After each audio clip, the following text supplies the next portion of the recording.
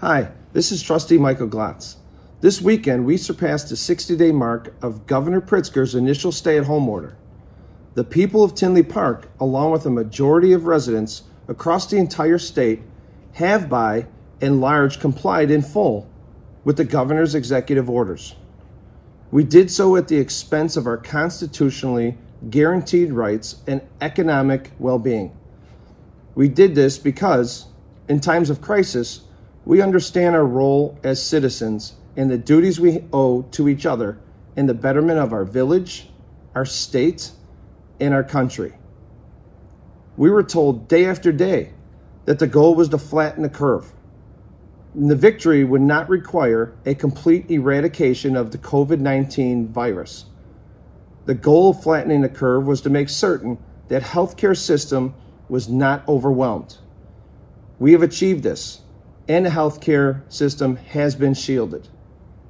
The governor's Reopen Illinois plan has effectively created an unreachable finish line for us.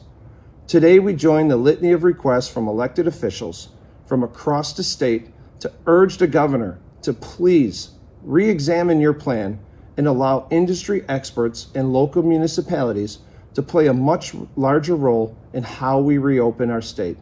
This is Village Clerk Kristin Thirion. To be clear, we do not believe that our plea to the governor, nor those from our neighboring towns, can or should be labeled as reckless or a political stunt. Rather, we are simply asking the governor to make good on his commitment to be flexible in establishing and amending his executive orders. Working under the governor's own parameters, we feel that the businesses in Tinley Park are ready to open today. They can do so responsibly with common sense regulations and safeguards. Certainly, the governor must consider more than Tinley Park or the Southland in his declarations and orders. However, in light of the data we are receiving on a daily basis, it's becoming clear that the reopening of Illinois will require the precision of a scalpel, whereas the governor is only equipped with a hammer. Our businesses simply cannot afford to remain closed until an unreachable goal is attained. We believe there are a number of steps the governor could take immediately, which would allow our Tinley Park businesses to reopen responsibly. First, commit the necessary resources to ensuring that our seniors and other vulnerable populations are adequately protected. According to the statistics compiled by the Illinois Department of Public Health, 48% of statewide deaths have occurred in assisted living facilities. There is perhaps no obligation we hold more dearly as elected officials than the protection of our seniors. Stricter isolation regulations for residents, guests, and employees of nursing homes that should have been enacted months ago must be put in place immediately.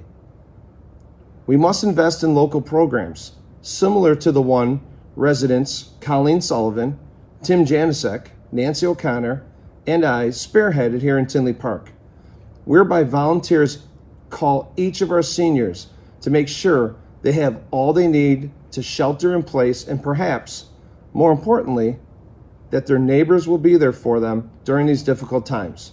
The Tinley Park Citizen Volunteer Committee has helped well over 200 seniors so far.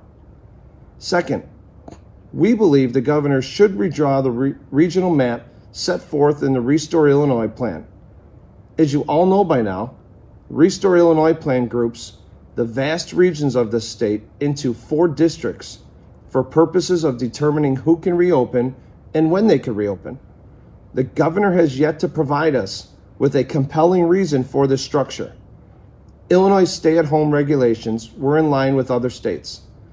Grouping our entire state into four regions is a drastic departure from states such as New York, which separated in its state into 10 regions, not to mention Wisconsin, whose Supreme Court found the governor's stay at home order was unconstitutional. To make the matter more confounding, the Illinois legislature has already split the region into 11 districts based on the availability of emergency medical resources. These regions, approved by medical experts across the state, accurately reflect our resources and demographics. We implore the governor to use these well thought out regions. We join the Illinois Municipal League and our colleagues in local government across the state in asking the governor to shorten the length of the review period between phases from 28 days to 14.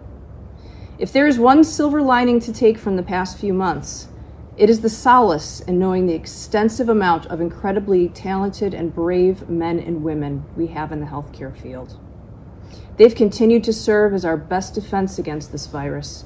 And in addition to caring for those of us who have fallen ill, they are delivering the data and the numbers in an incredibly quick fashion in order for elected officials to make real time policy decisions. Every day that goes by where a business remains shuttered vastly increases the likelihood that said business will never be able to open its doors again. That is the reality which we face, and the decision making process needs to occur as soon as possible. The people and businesses of Tinley Park have followed the governor's directives for the past 60 days without question. Their sacrifice has come at a great personal and financial expense. We now ask the governor to hear us on their behalf and allow them the opportunity to responsibly open. To that end, Kristin and I have been working with the business community on procedures and safeguards that I believe would allow our businesses to reopen and start our journey back to some type of normalcy. They are common sense sanitizing and distancing regulations to which our businesses and residents alike will gladly adhere to. It is imperative that we move forward with the same cooperative spirit that has gotten us to this point. Threats to withhold federal money from villages or liquor licenses from businesses that opened prior to the Reopen Illinois plan cannot be allowed to overshadow the extraordinary sacrifices our business community and residents have all endured in reaching our goal of flattening the curve. Each day, more lawsuits are filed attacking the legitimacy of the governor's order. Instead of wasting resources litigating these matters, we ask the governor not to throw the scientific data to the wayside, but instead be flexible in applying that data to the state's policy. It is time to trust that those who have sacrificed for the greater good of our village, our state, and our country are capable of reopening responsibly. In closing, people are suffering, and some are having trouble paying their bills and putting food on their table for their families. This cannot go on forever. If social distancing is working at big box stores, then why can't the same social distancing measures be safely applied to all businesses? In addition to relaxing restrictions on small businesses, we feel that a one size fits all set of restrictions isn't feasible for the entire state of Illinois. The coronavirus isn't affecting all parts of Illinois the same way. Thank you, and we are all in this together.